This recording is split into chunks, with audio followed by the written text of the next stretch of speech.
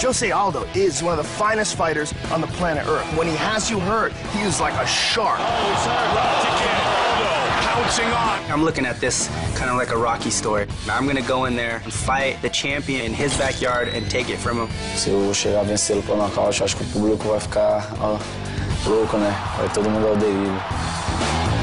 Jose Aldo is devastatingly explosive, has ridiculous kicking technique and power, and flying knees that come out of nowhere. Unbelievable. You know, this is why everybody at 145 wants to avoid this guy.